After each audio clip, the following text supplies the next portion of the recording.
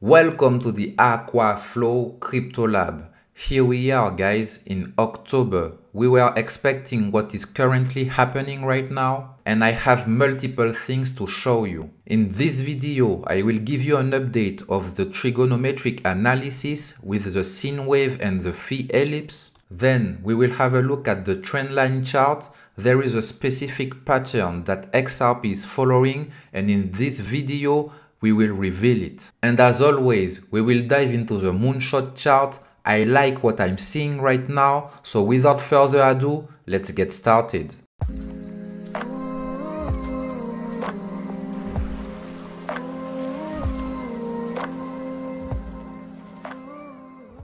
Okay guys, there are a lot of things happening in the crypto market right now. This video is dedicated to XRP and I will make a video about Bitcoin soon. If you're new here, consider subscribing to the channel. Here we are making creative analysis. So far they have been very accurate. If you want to show some support, give me a thumbs up and watch the video till the end. Now let's get started. You are already familiar with this chart. If you are not, I put a link in the description. On this chart, we have the sine wave and the phi ellipse. We know that these lines are pivot lines for XRP. And so far, every time we touch the sine wave and the phi ellipse in the current bull market, we have a strong bounce to the upside. Last month, I said that we needed to stay level-headed. Why? Because we know that we are still above the sine wave. In August, we had a strong bounce to the upside and in September we came to retest the sine wave.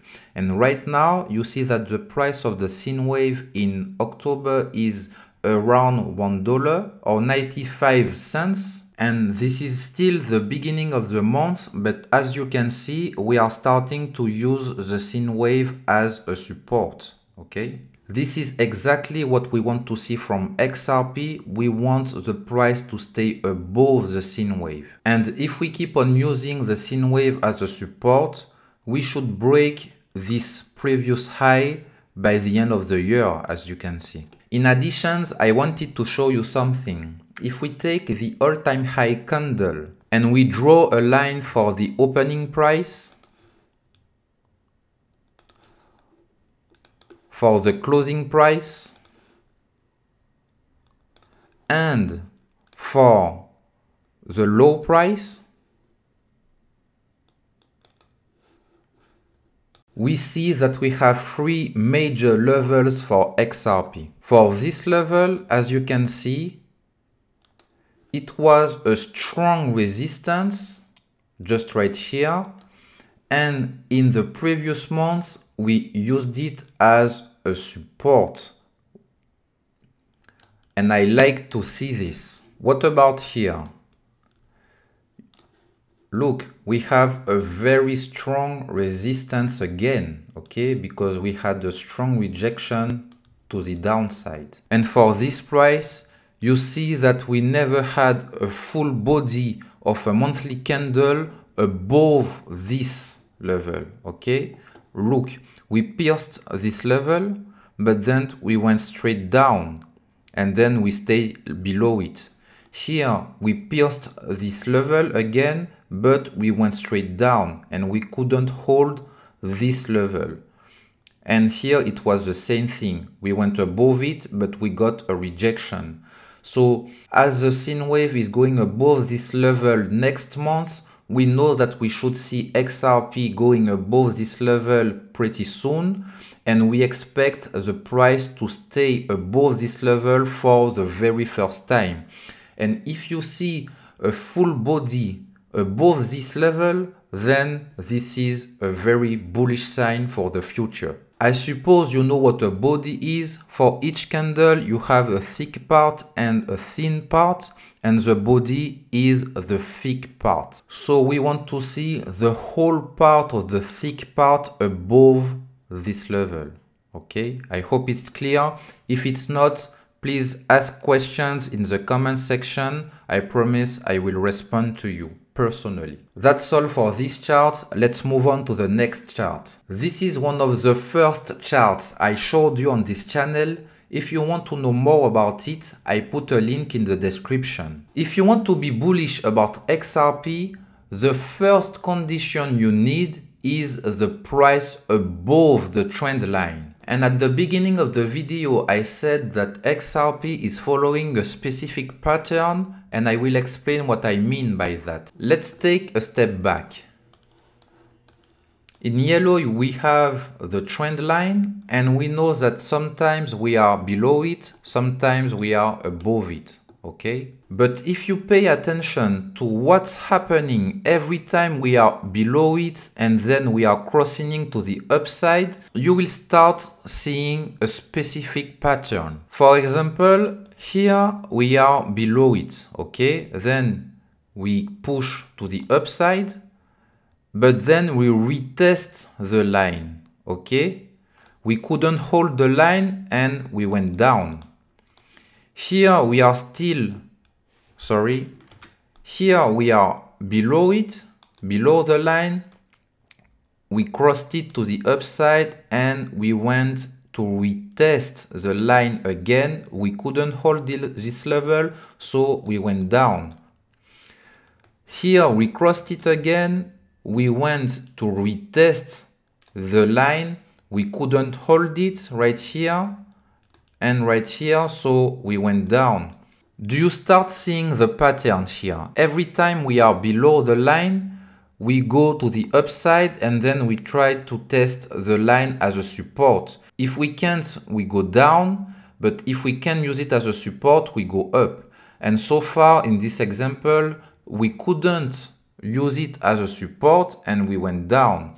So you see that here we went down, we used it as a resistance again, resistance. We went up and we did what? We go to retest the very same level. We couldn't hold it.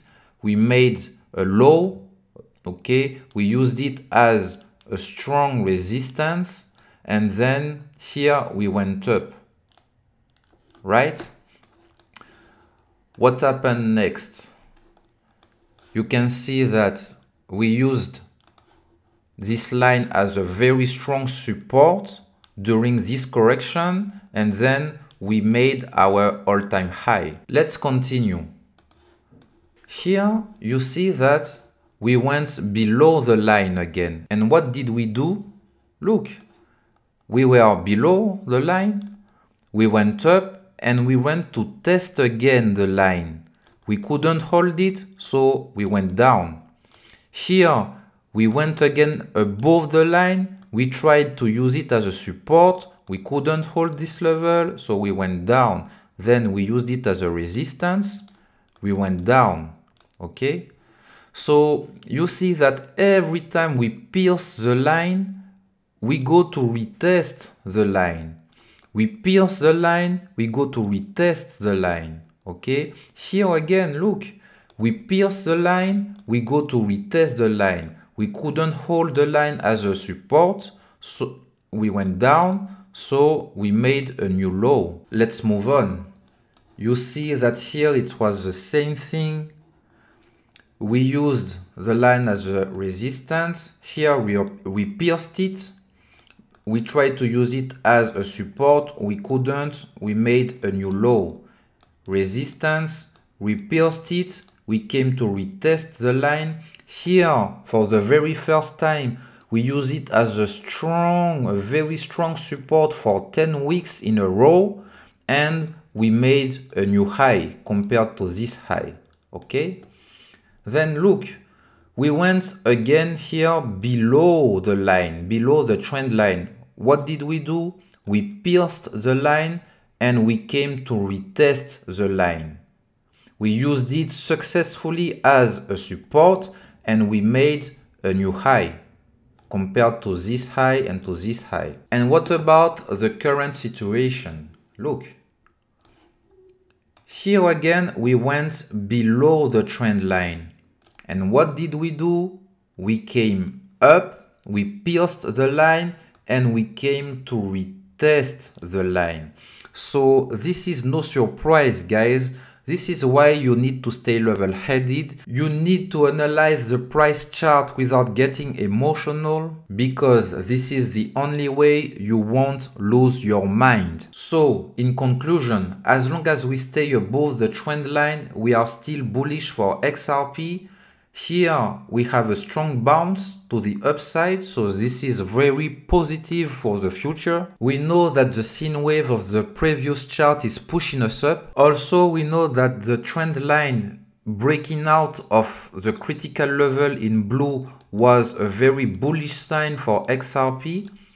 In addition, it was uh, at the same time a brand new all-time high for the trend line because we know that this level was critical for the trend line. We couldn't make a new high here and that's why the price had to go down and for the very first time we made a new all-time high for the trend line and this was very bullish. So right now what I want you to do is to draw two lines.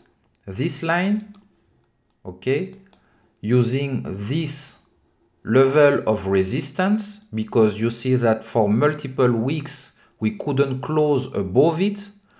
And we have this level okay? Because we know that here it was a strong resistance and now we are using it as a support. And right now XRP is ranging between these two levels Next, we will move to the moonshot chart. That's all for this analysis. If you have questions, just ask below. If you're a long time subscriber, you already know about this chart. It's very simple to understand. Every time we have a cross, we have a big event, either a sell-off, either a moonshot.